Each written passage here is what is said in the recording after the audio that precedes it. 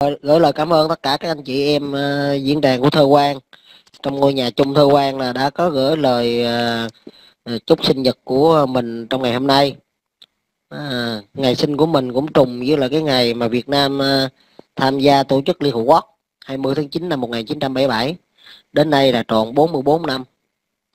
Thì đây là cũng một cái thành quả. Ừ, thành quả. À, giai đoạn à, khi chúng ta mới vừa bước ra khỏi cuộc chiến thì thù trong giặc ngồi. Các nước lớn thì cũng o ép Việt Nam à, không muốn cho Việt Nam gia nhập vào tổ chức Liên Hợp Quốc. Tuy nhiên bằng cái đường lối ngoại giao và cái sự ủng hộ của một số nước anh em à, trong phe xã chủ nghĩa lúc bấy giờ cũng như các nước à, phương Tây thì chúng ta cũng đã đạt được cái số phiếu để chúng ta bước chân vào cái đại hội đồng Liên Hợp Quốc. À, và từ đó đến nay 44 năm thì chúng ta cũng là một thành viên tích cực của tổ chức quốc tế này ừ. và đã hai lần đảm nhiệm cương vị à, là ủy viên không thường trực của hội đồng bảo an liên hợp quốc. Và 4 tháng trong hai nhiệm kỳ của chúng ta là 4 tháng đảm nhiệm cái chức vụ chủ tịch tại hội đồng. Và trong những lần chúng ta đảm nhiệm các cái chức danh chức vụ đó thì chúng ta đã đề ra đưa ra được những sáng kiến mang tính toàn cầu. Điển hình như là năm 2020 khi chúng ta đảm nhiệm chức chủ tịch hội đồng bảo an liên hợp quốc thì chúng ta có đề ra cái sáng kiến. Lấy ngày à, lấy ngày bao nhiêu tháng 12 đó 27 năm là ngày 27 tháng 12 hàng năm là ngày à, cả thế giới phòng chống dịch đó đây là một cái sáng kiến của Việt Nam mà để cho uh, tất cả các quốc gia trên thế giới uh, cũng như nhân dân cả nhân loại này xác định uh, việc phòng chống dịch bệnh thiên tai Ờ, đó là một cái hiểm họa khôn lường của nhân loại mà mọi người đều phải ờ, góp một phần công sức vào công cuộc này. Ờ, thì để nói sơ qua cái vấn đề đó. Còn riêng về nói về lịch sử thì chắc có nghĩ rằng là à, em thì cũng tìm hiểu cũng hiểu biết được chút ít. Nhưng mà vấn đề mà mà từng cá nhân những người mà trong cái mặt trận chiến gọi là trận chiến thầm lặng ở phía sau làm công tác địch vận phát thanh kêu gọi à, đối phương bỏ súng. À, bỏ súng không phải là đối họ đầu hàng nhưng mà họ bỏ súng. Họ không giết hại người dân Việt Nam. Thì có lẽ rằng là rất là nhiều rất là nhiều tấm gương chứ không phải chỉ riêng gì cái cô phát thanh viên Trịnh Thị Ngọ này. Tuy nhiên nói với cô này thì chắc có lẽ là em cũng thiếu sót là không tìm hiểu và cũng chưa biết. Cũng giống như cái hình ảnh của một cái ờ, cái cô du kích ở miền Nam khi mà những cái người lính Mỹ đang tụ tập lại xem những cái tấm ảnh của người thân ở bên Mỹ thì có người là là là là yêu đề nghị là lúc, cái cô này lúc đó là tiểu đội trưởng hay xã đội trưởng gì đó của cái xã đó, đề nghị là giết, đề nghị là nổ súng tiêu diệt. Tại vì lúc bấy giờ là hãy giết lính Mỹ thì có huy hiệu huy hiệu diệt Mỹ á, nhưng mà cô này quyết tâm không cho. Và sau đó cô này cũng bị kiểm điểm kỷ luật. Tuy nhiên là sau này mới thấy được cái tính nhân văn của người Việt Nam ừ, khi hai bên giao tranh cái chuyện chết chóc mất mát là có. Nhưng trong cái lúc đó thì chúng ta không không nỡ à, giết một con người. Ừ, cái tính nhân văn của người Việt Nam và cái tính chính nghĩa trong cái cuộc chiến mà luôn được quốc tế ca ngợi luôn được quốc tế ủng hộ. Đặc biệt trong giai đoạn kháng chiến chống Mỹ thì đất nước ở Tây Âu ừ, đất nước ở, ở ở Bắc Âu là Thụy Điển. Vì ủng hộ Việt Nam đã bị Mỹ à, ngăn cản cái chuyện mà kinh tế giao thương kinh tế à, mà các anh chị mình có thể tìm hiểu thì cũng hiểu được rằng là thì Điển quyết tâm vì ủng hộ cái cuộc chiến chính nghĩa của Việt Nam và yêu cầu Mỹ rút quân mà thì Điển đã bị Mỹ à, ngăn cản ngăn ngăn cản cái việc phát triển kinh tế cũng như là một số cái chính sách đối ngoại của Mỹ đối với Thụy Điển cái giai đoạn à, trước những năm 75 yeah. À, mà sau này là thị Điển là Ờ, thủ tướng Phạm Văn Đồng cố thủ tướng Phạm Văn Đồng đã đến thăm. Ờ, đến thăm Thụy Điển để để được nhận cái sự ủng hộ của nhân dân Thụy Điển.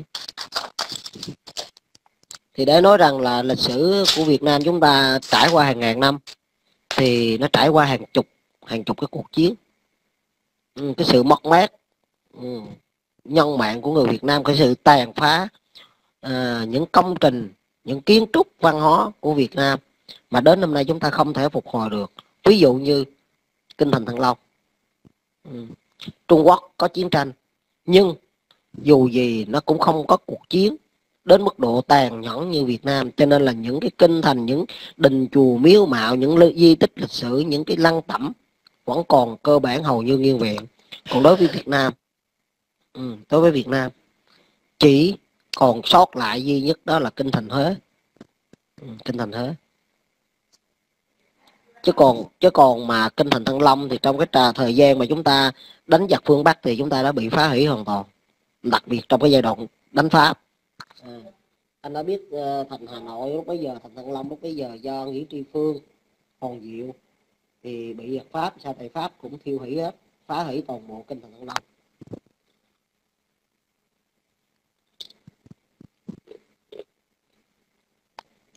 Thì đối với lịch sử của dân tộc chúng ta thì chúng ta đã biết trải qua anh anh, anh nghe rõ mà. Anh đeo tai nghe thì nghe được á nhưng mà không biết uh, mọi người ở dưới thì như thế nào? Thì uh, cái uh, cái việc chiến tranh xảy ra cái cuộc chiến dù nhỏ hay lớn dù khu vực hay là cả thế giới thì cũng chẳng ai muốn. Nhưng mà trong những cái cuộc chiến trong thế kỷ 20 thì đều có cái sự nhúng tay à, của những nước chủ nghĩa đế quốc họ tranh giành thuộc địa họ tranh giành lãnh thổ. Cho nên là nó gây ra cái cuộc chiến. Chúng ta không nói gây cuộc chiến này là cuộc chiến tranh ý thức hệ gì cả.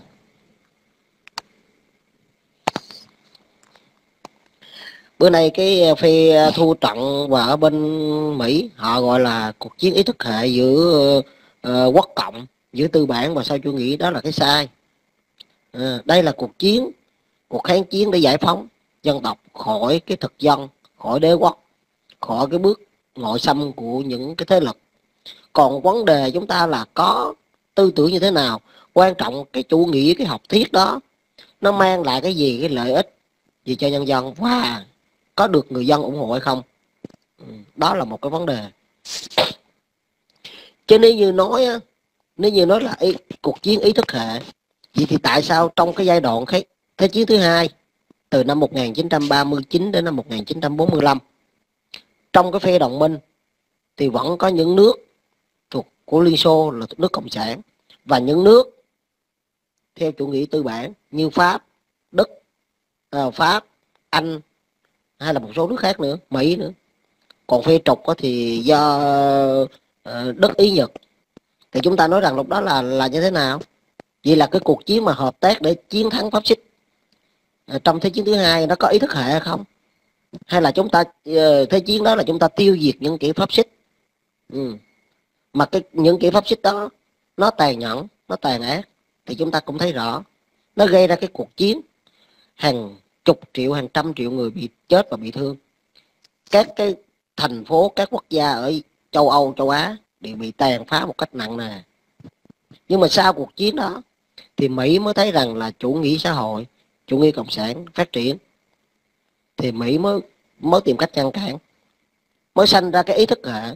Nhưng mà chúng ta phải nói rằng là gì nè? Trong cái nghiên cứu lịch sử và cái cái cái, cái học cái nghiên cứu những cái học thuyết đó, mà đặc biệt là Marx đã đề ra cái học thuyết cộng sản đó, thì chúng ta cũng phải hiểu rằng là khi xây dựng một cái xã hội mới khi một xây dựng một cái xã hội mới thì cái xã hội cũ à, cái tàn dư của xã hội cũ nó vẫn còn giống như uh, anh thơ quan có nghĩ rằng là khi cái chế độ chiếm hữu nô lệ tồn tại thì những giai cấp tư sản tư sản nhỏ họ phát triển lên họ tranh giành họ giành giật. À, họ muốn thống lĩnh thì cái chế độ chiếm hữu nô lệ có đồng ý hay không? Có cho phép cái chế độ tư sản đứng đứng lên mạnh không? Mà đặc biệt trong cái cuộc chiến của cuộc nội chiến của Mỹ Nam Bắc Mỹ thì phía nam miền nam mỹ à, miền nam của nước mỹ muốn giữ lại cái chế độ nô lệ phía bắc mỹ à, phía bắc thì muốn giải phóng cái chế độ nô lệ thì đó cũng là một cái cuộc chiến giữa một cái thế một cái thế lực cũ một cái chế độ cũ và một cái chế độ mới tốt đẹp hơn ừ. nó rõ ràng thì vậy thì bây giờ trong cái xã hội Việt Nam hoặc là các nước phương Tây cũng như phương châu Âu châu châu Á mình trong cái giai đoạn à, chế độ phong kiến còn hiện hữu giống như là Napoleon của Pháp này nọ hay là Việt Nam thì triều Nguyễn Trung Quốc thì triều Thanh Triều thiên Hàn Quốc thì lúc bấy giờ cũng còn là chế độ phong kiến. Vì thì khi du nhập vào chế độ tư bản vào mà triều đình đặc biệt là triều đình nhà Thanh đâu có muốn chế độ tư bản vào Trung Quốc. Cho nên là mới gây ra cái cuộc chiến là sáu nước đánh Trung Quốc đánh Mãn Thanh. À, nó rõ ràng. Cho nên là khi chế độ cũ còn tồn tại họ không bao giờ chấp nhận cái chế độ mới. Ừ. rồi đến ngày hôm nay khi chế độ tư bản phát triển được trên 200 năm à, gần 300 năm nay thì khi chế độ tư bản phát triển và học thuyết mát ra đời cái chủ nghĩa cộng sản và đã có một số nước à, xây dựng theo cái thể chế cộng sản thì chắc chắn các nước tư bản họ cũng không muốn. Họ không muốn. Tại vì chế độ này nó sẽ có cái tính ưu việt hơn, nó có cái tính tốt đẹp, nhân văn hơn, thì chế độ cũ họ phải tìm cách tiêu diệt đi. Ừ. từ đó những người Việt Nam theo chế độ miền Nam, bữa nay lưu vong qua Mỹ và một số nước châu Âu, họ hận thù vì họ mất miếng cơm manh áo. Họ mới đặt ra một cái lằn ranh quốc cộng là cái, là như thế.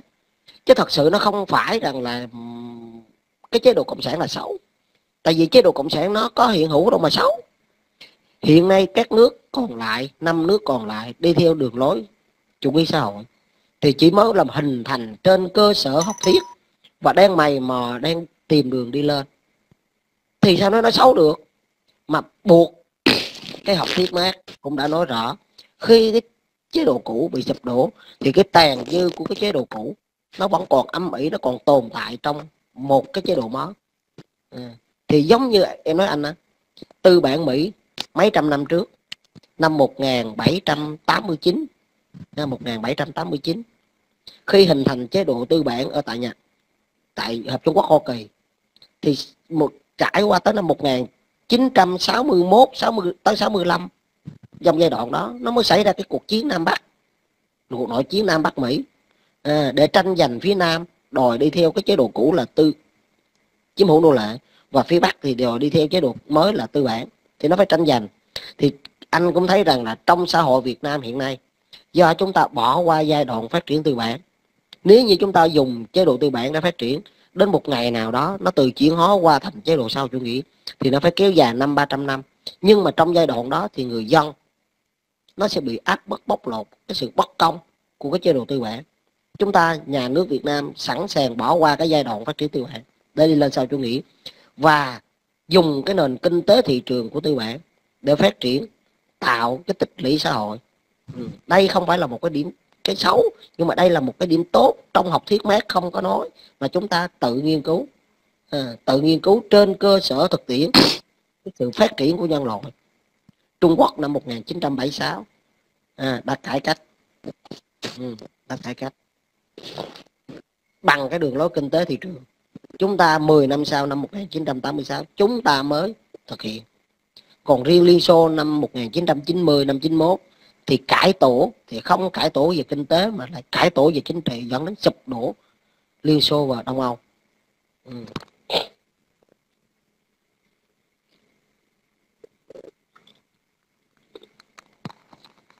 thì anh thơ Quang có thấy là trong xã hội Việt Nam, khi chúng ta dẹp bỏ được cái chế độ phong kiến. Và chúng ta tiến lên xây dựng cái chế độ sao chủ nghĩa. Thì trong 76 năm qua Việt Nam mình còn tồn tại những cái phong tục của phong kiến hay không? Còn những cái hủ tục lạc hậu hay không? Những cái hủ tục đó của những vùng đồng bào dân tộc thiểu số. À, mà hiện nay chúng ta cố gắng từng bước từng bước loại bỏ những cái hủ tục à, nhưng mà còn những cái tập tục cái phong tục tập quán của đồng bào dân tộc hay là kể cả của người kinh chúng ta giữ cái nét văn hóa. Nhưng mà cái cũ thì chúng ta phải loại bỏ dần. Ví dụ như trước đây à, theo cái truyền thống của người Việt Nam mình khi người thân qua đời thì chúng ta tổ chức ma chay rình rang rồi à, rải vàng mã à, dạ, rải vàng mã dọc theo các tuyến phố nó gây ô nhiễm. Thì bây giờ xây dựng cái nếp sống văn minh thì nhà nước từng bước chấn chỉnh và các địa bàn các thành phố lớn thì họ giảm bớt cái việc rải rải đốt hàng mã à, thì cái đó cũng là một cái chúng ta loại bỏ lần lần những cái tập tục cái hủ tục xấu mà chúng ta tiến lên một cái bước văn minh nó rõ ràng chứ đâu có sai, sai, sai.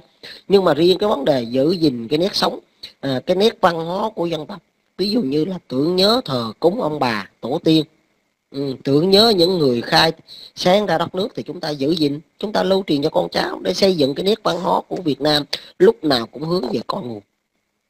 Thì trong cái xã hội hiện nay anh thơ quan thấy rõ rằng là trong xã hội chúng ta hiện nay vẫn còn có tư tưởng của những người lớn tuổi đó là phong kiến. Ví dụ như là uh, trong cái chuyện mà hôn nhân không cha mẹ đặt đâu là con ngồi đó cũng còn vật cũng còn có một những trường hợp mà điển hình. Ví dụ như uh, những cái kiểu mà mà mà chê bai không hôn môn đang hộ đối trong những cái chương trình uh, bạn muốn hẹn hò đó. Ừ. cũng thấy rõ có những cái người mà họ người mẹ họ gì lo lắng cho cái cuộc sống của con sau này nó khổ nó vất vả. Cho nên là phải giữ lại cái muốn tìm một chàng rể một nàng dâu phải đảm đang tháo vét này đủ hết đó thì cái chuyện đó nó vẫn còn có tồn tại mà. Cái thứ hai nữa ừ, cái truyền thống của người Việt Nam chúng ta từ ngàn xưa tới nay cha mẹ ông bà là phải có trách nhiệm chăm lo cho con cái cái thứ hai nữa là con cái là phải có trách nhiệm hiếu thảo phụng dưỡng cha mẹ ông bà. Đó là cái truyền thống của chúng ta. Nếu như nói chúng ta bỏ chứ sao bỏ được? À, giống như là bây giờ người người phương tây họ làm mạnh ai làm nó ăn lớn là tự làm tự ăn. Nhưng mà người Việt Nam chúng ta lại khác. Cha mẹ làm còng lưng làm cả đời có dành được cái ngôi nhà một mảnh đất một mảnh vườn tài sản gì đó thì cũng để dành cho con cháu để lại cho con cho cái mình. Đó là một cái truyền thống của mình mà cho nên nói bỏ có bỏ được không? Cho nên trong quá trình xây dựng một chế độ mới, tồn tại những cái cũ nó vẫn có. Nhưng mà nó manh nha những cái mới, những cái mới. Ừ.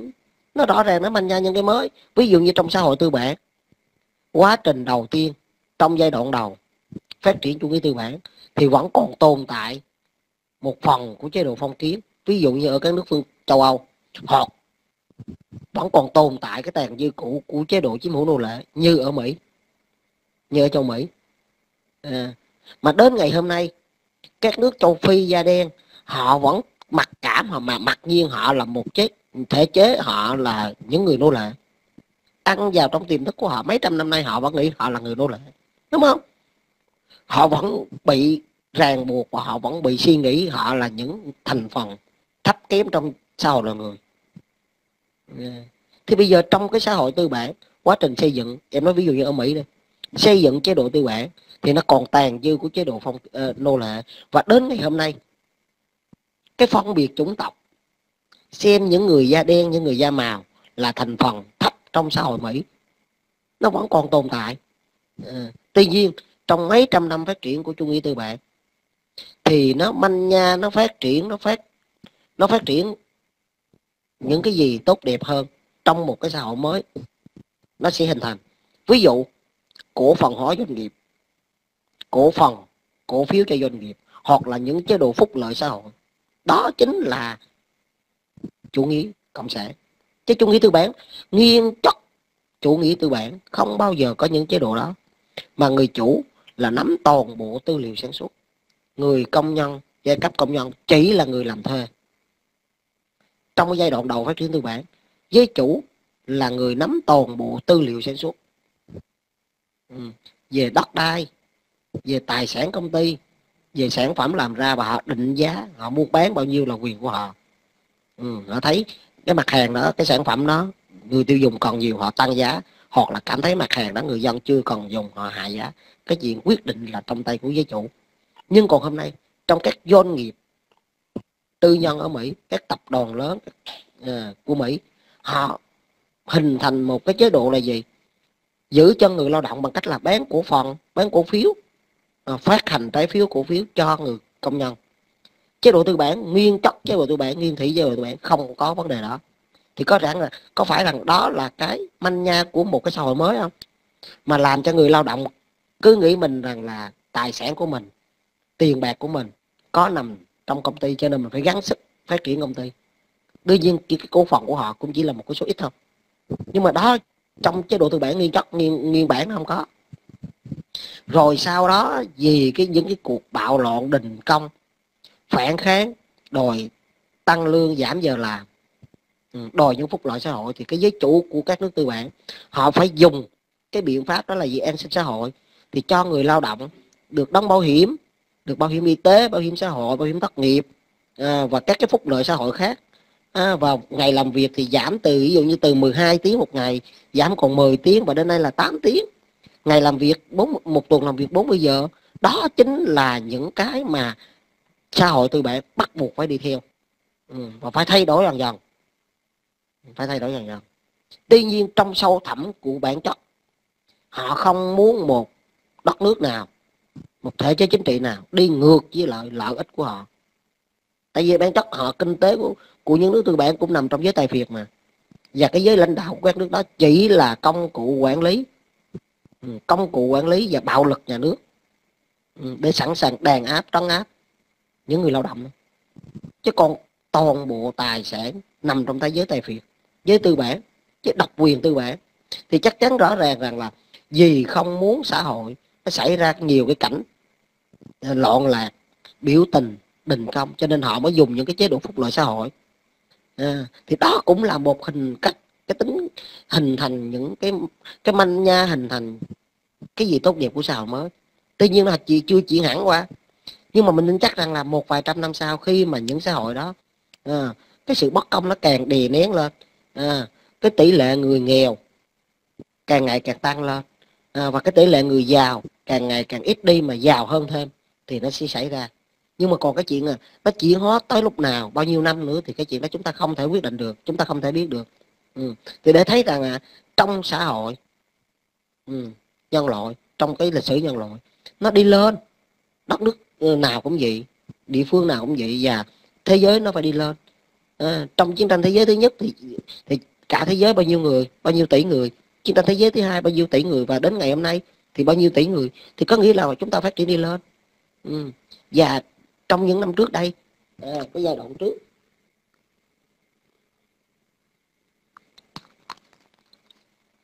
Cái thập kỷ 80 chúng ta coi cái tivi trắng đen.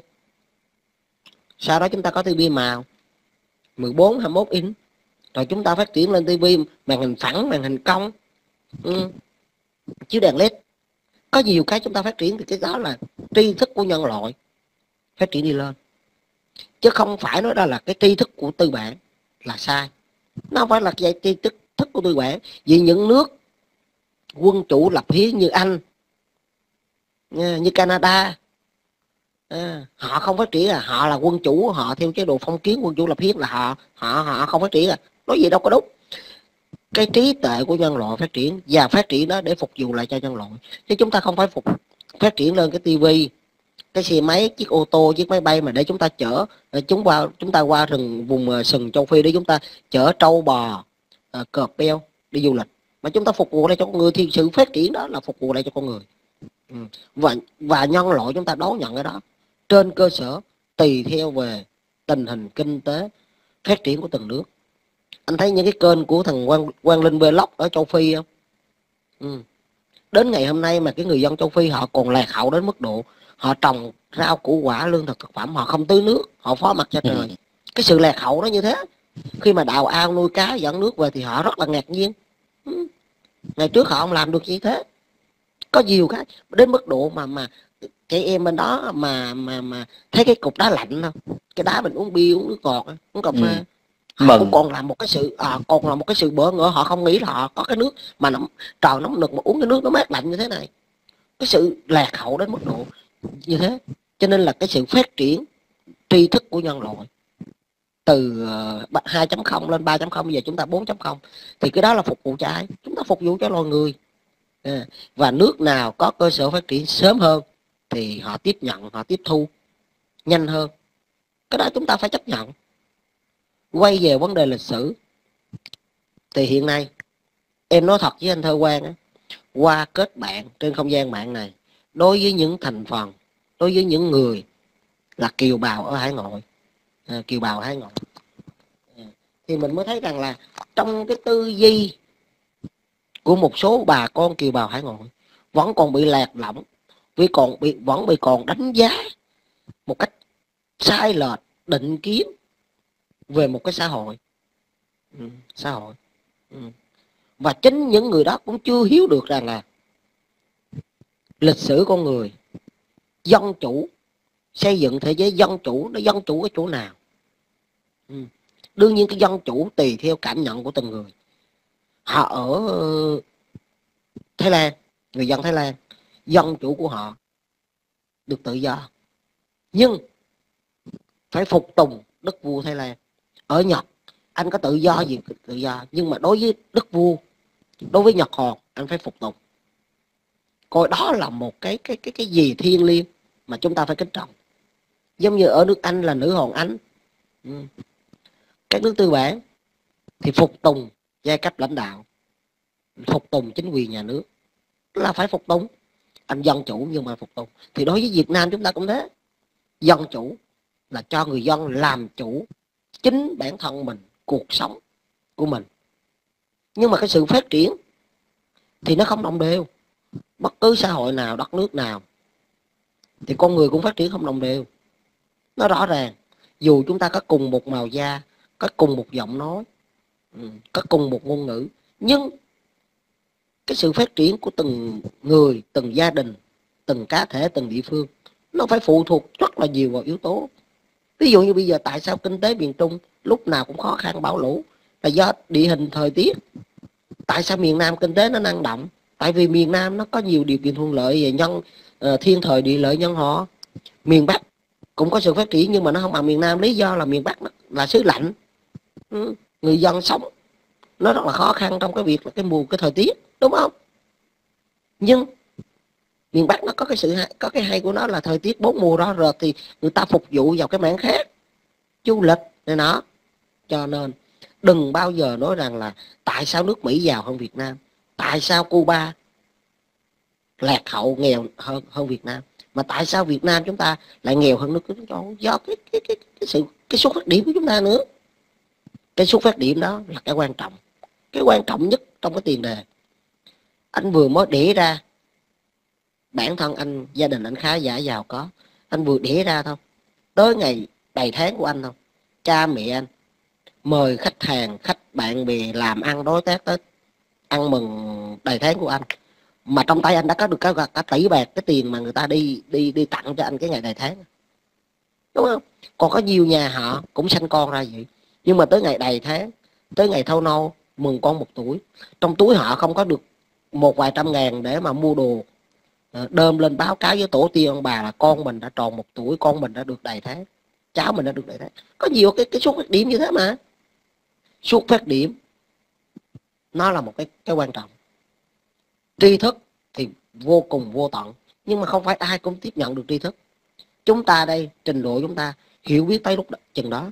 Nhưng mà bây giờ anh thơ quen anh biết lái xe thì có thể là khi anh lái chiếc xe ô tô nghe tiếng máy anh biết xe nó bị hư cái gì em không biết lái xe nó cái tiếng máy gì cũng kệ mẹ nó cái nào cũng là máy nổ mà bác biết mẹ gì đâu đúng không? Nó rõ ràng. Em không có nghề ô tô em không biết gì hết. Máy nổ thì em nghe ở nó bạch bạch nó cũng giống như bùm bùm bùm bùm em biết hết. Cái người thợ vi tính họ cũng vậy. Họ nhìn vào cái máy vi tính họ biết hư cái chỗ nào. Chúng ta không biết. Chúng ta gỡ hư bày đặt lanh chanh gỡ cái tivi để lát nữa gắn vô lại sao nó dư tùm lum á đúng không? Mọi không biết. Thì tại sao mà lúc nào cũng nói rằng là là uh, chê bai? Mà thật sự người dân trong nước, người dân Việt Nam, một số thành phần, tự nhục bản thân mình và tự nhục quốc gia, đó là một cái sỉ nhục lớn nhất của một quốc gia. Khi anh không có tự tôn dân tộc, anh không tự tôn dân tộc. Khmer đỏ năm 49 năm 79 đã từng tuyên bố dùng 2 triệu người Campuchia để tiêu diệt 40 triệu người Việt Nam. Một tuyên bố hùng hồn không ừ. họ không đánh giá được thực lực của họ họ không đánh giá được rằng là là cái cái cái cái, cái quan hệ cái sức cái sức khỏe của họ như thế nào.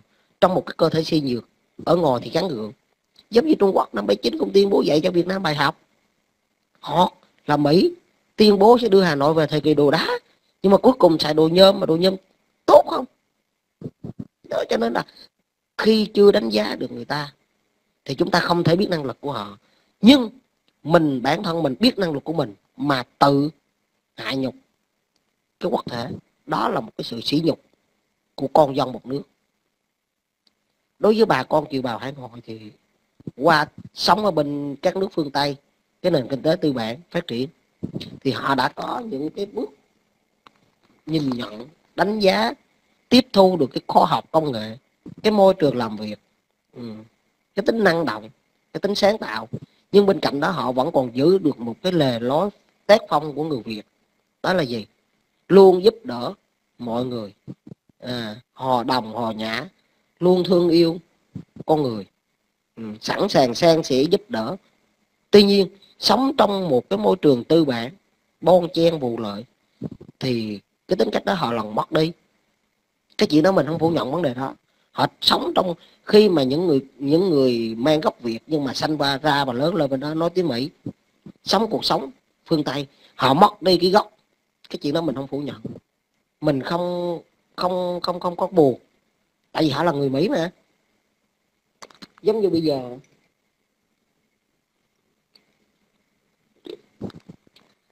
Cái người Trung Quốc, họ qua Việt Nam, họ sống mấy trăm năm nay, con cái của họ cũng nói tiếng Trung Quốc được. Vẫn nhớ tới cội nguồn nhưng, tập tục, phong tục, tập quán, cuộc sống ở Việt Nam, họ đã dần thay đổi. Thì đó cũng là một cái, họ tiếp thu cái mới và họ phải bỏ dần đi cái cũ. Cái chuyện đó mình không không không trách được. Nhưng mà mình buồn là buồn cho những người sanh ra Việt lớn, à, sanh ra lớn lên ở tại đất nước Việt Nam. Vì cái thời cuộc bỏ đi qua xứ người. Vẫn nặng lòng với quê hương nhưng lại có những cái ý nghĩ nhìn nhận một cách thiếu khách quan trung thực. Không đúng cái thực tế cái sự phát triển